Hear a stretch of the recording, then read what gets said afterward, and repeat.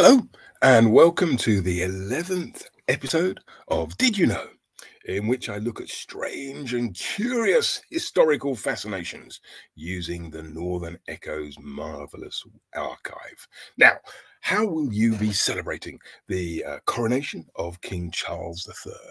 With a street party, uh, with a mooch to the pub, even with a quiche? But did you know that in the last century in Darlington, they celebrated the coronation of a new monarch by publicly roasting a massive ox in the marketplace, which was then consumed by thousands of hungry Darlingtonians. Now, in 1902, a committee headed by farmer and butcher William Snaith you can see on the right here, selected this huge bull from Bedales Farm off Coniscliffe Road. Uh, got to feel sorry for the poor thing. It really doesn't know what awful fate is about to befall it.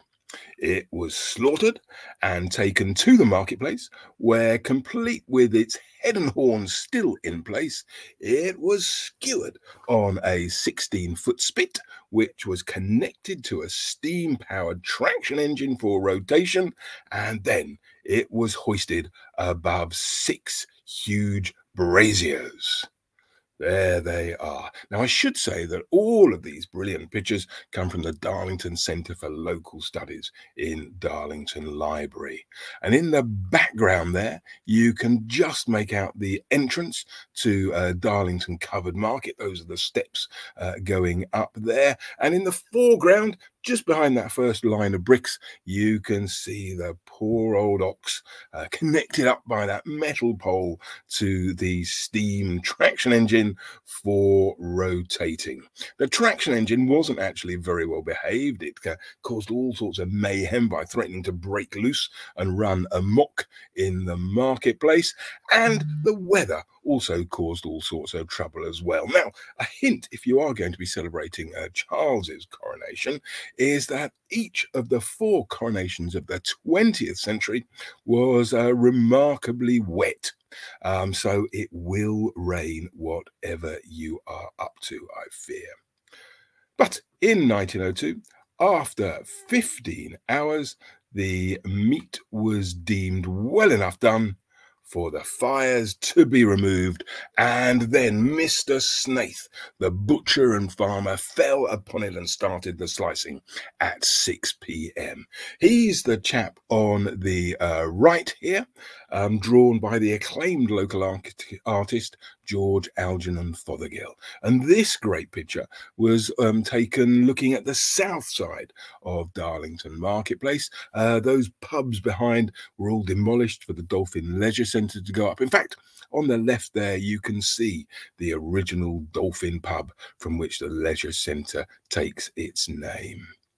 And then here we have the sandwich making committee. What a fine group of men these really are.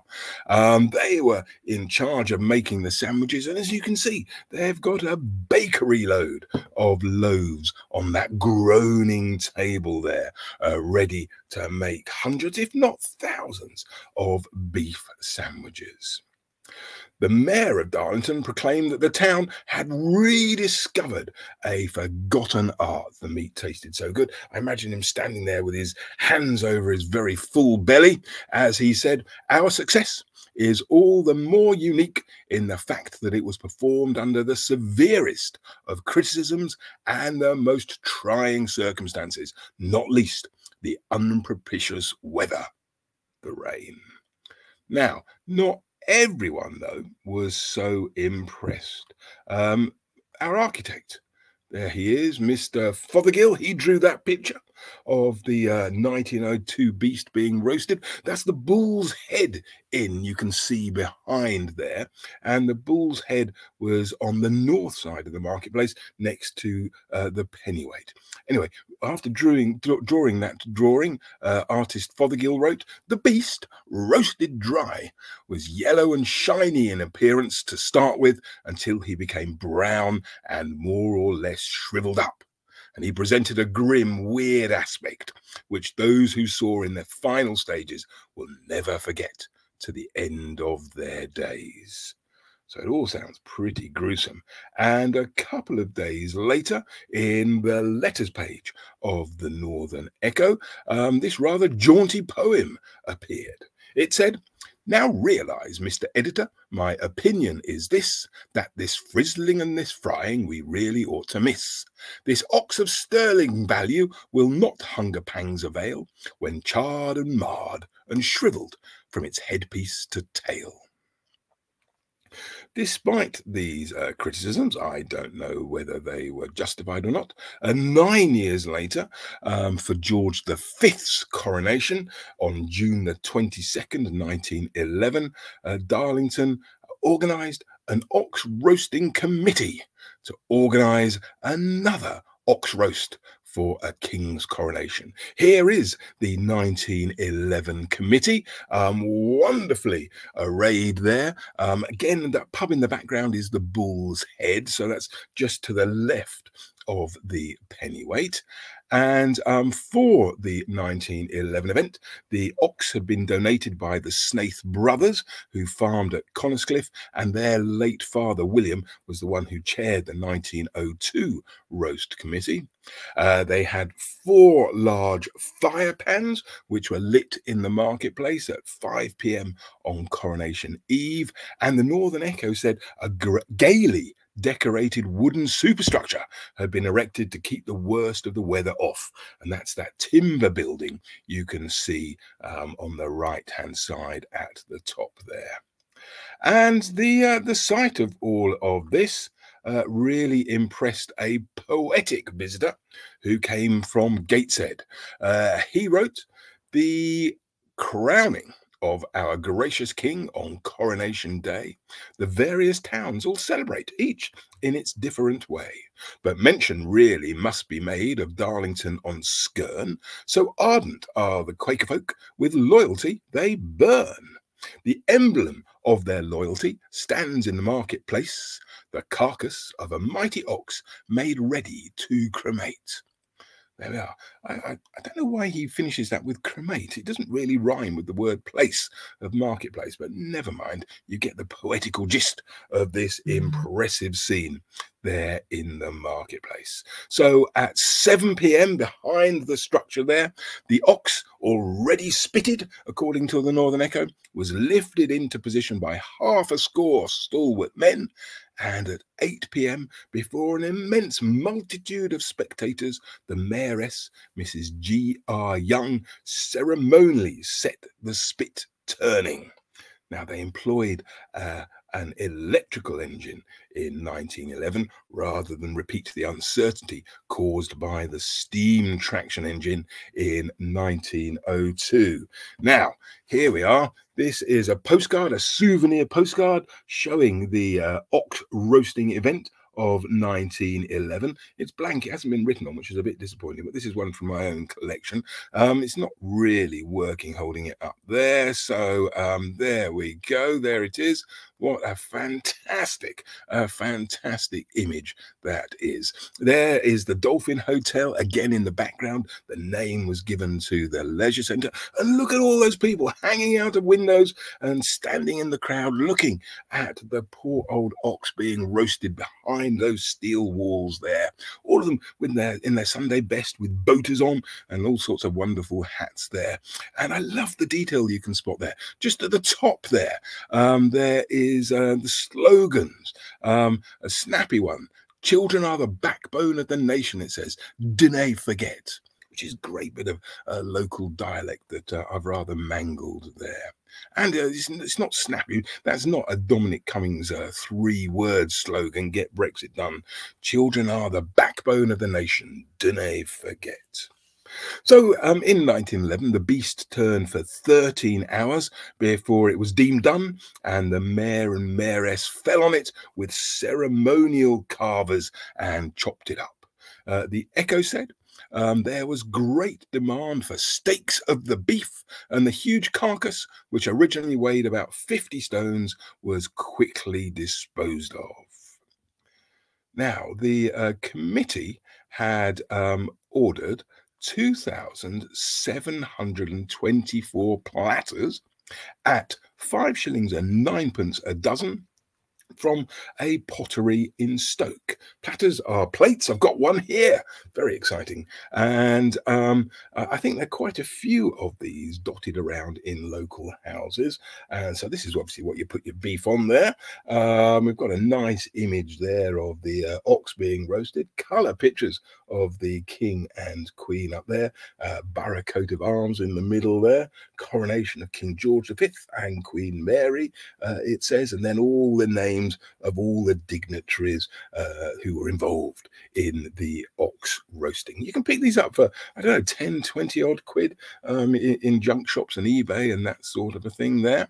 And um, uh, you can see that uh, if I go back to uh, the picture of the wonderful setup of the uh, in the marketplace, um, that one.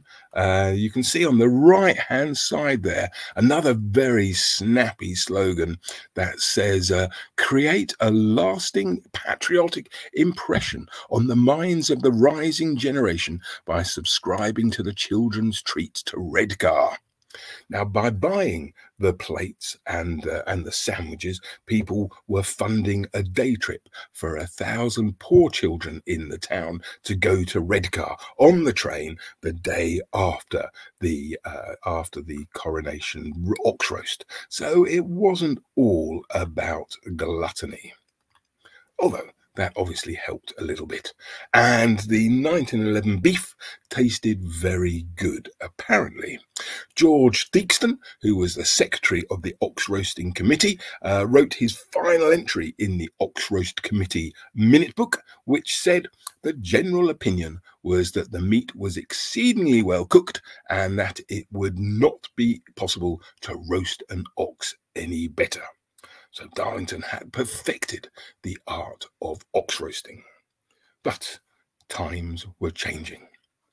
In 1935, where it was suggested that George V's Silver Jubilee should be celebrated in the time honoured ox roasting fashion, but the idea was dismissed as barbarous.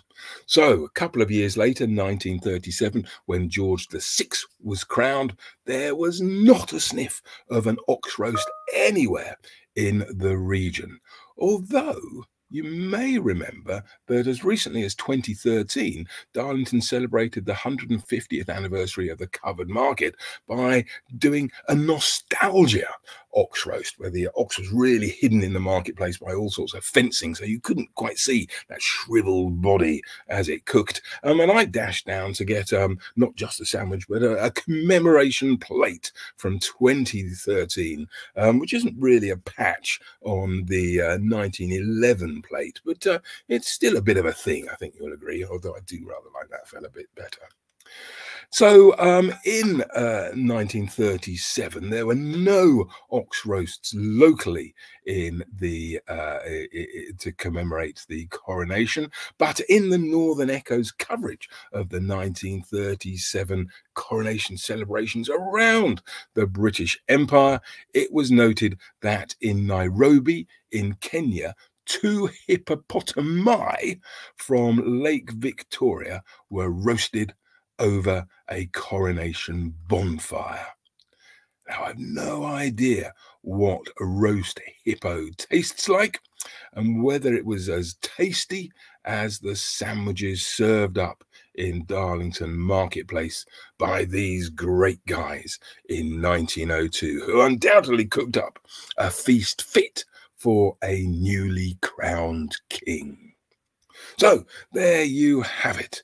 Um, thanks so much for your time. Please subscribe to Did You Know so you'll never miss another episode of these fascinating fascinations. And of course, go online to the Northern Echoes website, where every day at 9:30 a.m. one of my uh, marvelous uh, local history stories is added, and you can find all sorts of ways to subscribe, bargain ways uh, to the website as well. Or you could just go out on a Saturday and buy a copy of the paper.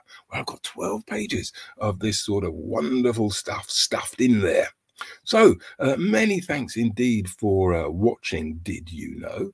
And um, now you can say that yes, you do know about the days gone by when they celebrated coronations by roasting oxes in Darlington Marketplace. So, uh, goodbye for now. And uh, me and my plate, we're heading off to try and find another beef sandwich. Thanks for your time and goodbye.